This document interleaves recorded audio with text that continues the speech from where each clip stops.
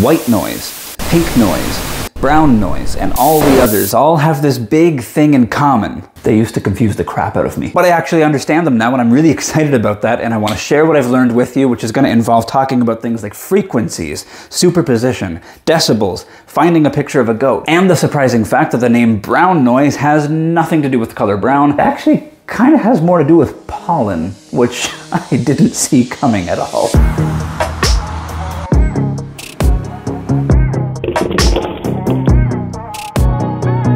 Want to start with white noise because it's the most basic really, and I think that if you can bake the white bread, you can bake all the other kinds of bread. a pretty standard definition of white noise is a sound signal that contains all frequencies at equal intensity. The name white noise just comes from a comparison to how white light works, where you mix together all colors or frequencies of light waves. And for me, it's really the all frequencies part of that that was giving me the most trouble because like imagine looking at a speaker and saying, play every frequency all of them? Thankfully, that part of the definition actually isn't quite right, and I've gone ahead and written what I consider to be a better version of the definition, where instead of saying all frequencies, it says so gosh darn many frequencies that if more got added into the mix, you wouldn't be able to tell the difference. But rewriting the definition that way didn't help me at all to understand how one speaker can play multiple frequencies. This has actually bothered me for a long time, thinking about like music and stuff. The speaker doesn't have to play multiple independent sound signals for us to hear multiple independent sounds. How can one speaker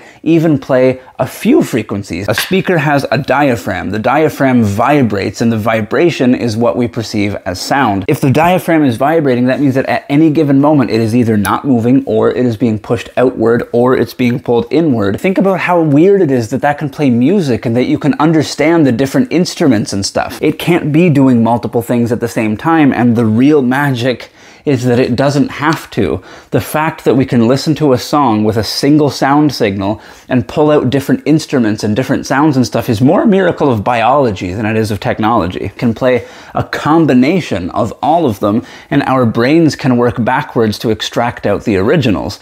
This is a concept called superposition and it's easiest to understand using pure tones like this. What you're hearing is a 131 hertz frequency, which means that the diaphragm inside your speaker is vibrating back and forth 131 times every second to produce the sound. The squiggle that you see on your screen is a visual representation of that vibration, and you'll notice that it's very smooth, predictable, repetitive, always going up and down by the same amounts. But watch what happens when I add a second tone into the mix. You'll notice now that there are three squiggles on the screen and I want you to completely ignore the yellow one. Don't look at it, don't you even think about it. Just focus on the blue and pink ones. The blue one is that original 131 Hz tone and the pink one is a 1047 Hz tone. And you can hear them both at the same time, but the speaker doesn't actually have to play both independently, which is where the yellow squiggle comes in. That is how the speaker actually vibrates to play both tones together, and you can see how it's a combination of the two. The way this works is that at every point along those waveforms, if you look at how far in or out each wave would tell the diaphragm to move on its own, you can total that up to get a new position for the diaphragm, and then just keep running that calculation along the whole thing.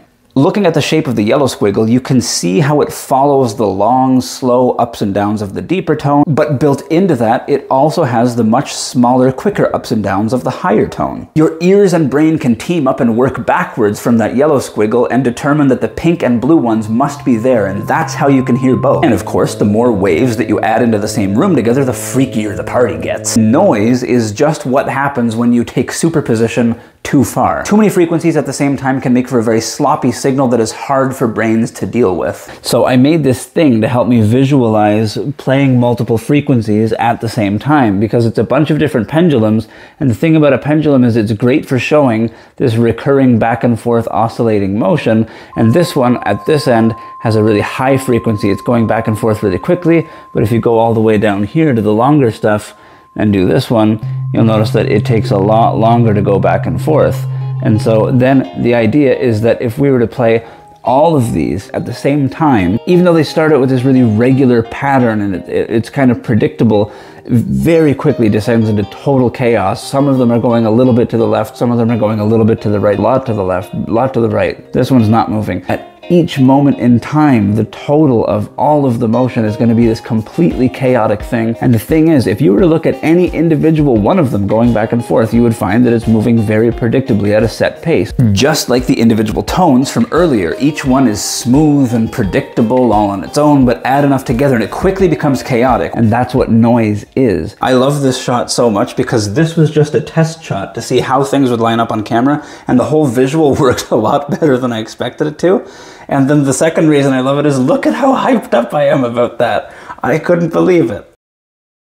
So that helped me to understand how a speaker could physically play noise from it, but it still didn't help me to understand how the different types of noise are different from one another, and what really helped that click for me was thinking it through, of course, with a ridiculous example. Imagine yourself in a big empty room. This room that I'm in is not big or empty, just pretend, okay? And then into that room, you bring a speaker, okay? And then from that speaker, you start playing a frequency, all right? Now, you also have a microphone. So you're in this room playing a frequency, recording it in a microphone. Now that microphone is going to pick up that waveform of that tone like we saw earlier. But now let's make it absurd. You don't just have one speaker in the room. Let's say that you have almost 20,000 speakers in the room and all of them are playing slightly different tones spaced out across the entire range of human hearing. The lower end of the human hearing range is 20 hertz and the upper range of human hearing is around 20,000 hertz. So let's say that you've got a speaker that's playing a 20 hertz frequency. You've got another one playing a 21 hertz frequency, another one playing a 22 hertz frequency, and so on and so forth, all the way up to 20,000. What is that microphone going to record? What's it going to sound like?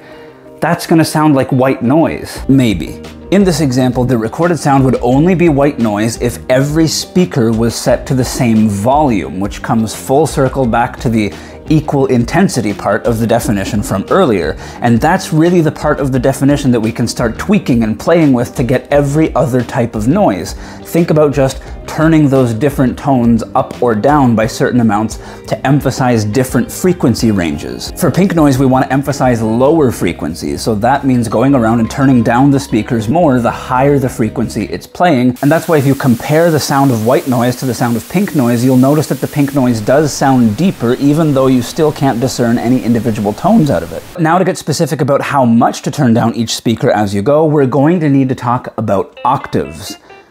Yeah, like that. An octave is any doubling of frequency, and so going from 40 hertz to 80 hertz is an octave. The next octave would be from 80 hertz to 160 hertz, and then 160 to 320, and so on and so forth. Pink noise promises to love each of its octaves equally, whereas white noise makes the bolder claim that it loves every frequency equally, which I don't really, I don't know, it seems like a lot. To get more technical about it, in pink noise you have the same amount of sound power in each octave. And to accomplish this, since each octave is twice as wide, we'll say, as the one before it, that means that you take the intensity in each octave and cut it in half as you go for the same total amount of sound being represented in each of those octaves. And that is basically going to inform you on how to set the volume on each of those speakers in that 20,000 speakers in a room example. And now speaking of volume, you've probably heard volume referred to in terms of decibels before, and decibels are weird, man. They operate on what's called a logarithmic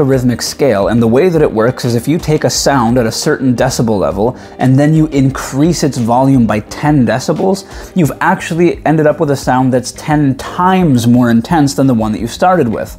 Go up another 10 decibels, and now your sound is 100 times more intense than the one that you started with. The math around all of that is honestly a little bit weird, but if you think about doubling the intensity or cutting the intensity in half, what you're really talking about is going up or down roughly 3 decibels.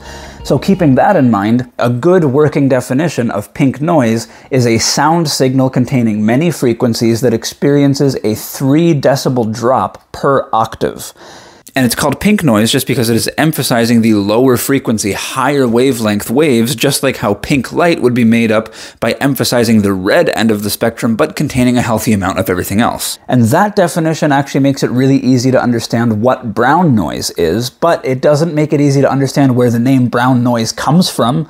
To get to the definition of brown noise from here, we just swap the 3 for a 6 and call it a day, which means that brown noise experiences that drop in intensity as you go up the octaves, but it's happening twice as fast, which is why we're left with a deeper, bassier, more rumbly kind of sound. But the name brown noise, haha, that's more of an adventure. It's not named after the color brown, it's actually named after something called Brownian motion, which is a type of random walk behavior that was first described by a botanist named Robert Brown when he was studying how pollen particles move. Now, it's a little bit confusing, admittedly, to try and relate this back to sound specifically, but to keep it simple, what you can think about is taking a speaker diaphragm and telling it to move according to the description of Brownian motion. What you would end up with is a sound signal that has a frequency distribution that experiences a roughly 6 decibel drop per octave, which of course now we call brown noise. If you feel sad for brown noise because it's not really truly named after a color, you can call it red noise. It's totally fine. It's, it's a, that's actually another name for it. Some of the other noise colors that exist are blue noise which is basically just the opposite of pink noise. You have a 3 decibel increase per octave. You've also got violet noise or purple noise, which is the opposite of brown noise, which is a 6 decibel increase per octave. And then you have green noise, which is just terrible. nice. Now, as for how these noise signals are actually generated, no, no one is filling a room with 20,000 speakers playing different tones and recording the sound on a single microphone. I'm sure they use at least two microphones. Also, there's no need to go ahead and build an audio file with 20,000 different waveforms in it that you compile into one end result. You don't need to do all of that because the thing is, these noise signals, whether it's white, pink, brown, green, blue, purple, anything like that, it's supposed to be random. And so you can just start with a random number generator. That random number generator can generate random numbers. That's what they do. Then you use that sequence of random numbers to build a completely chaotic waveform. then from there, it's really just a matter of filtering that chaos to constrain it into the definitions that we've covered in this video. There are other methods, but that's probably the go-to. I think. That's the part that I researched the least. Anyway, that is all that I have for this video.